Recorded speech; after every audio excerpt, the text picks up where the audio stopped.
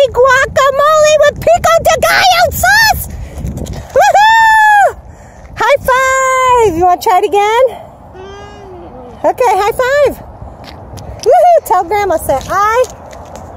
I ride my bike by myself,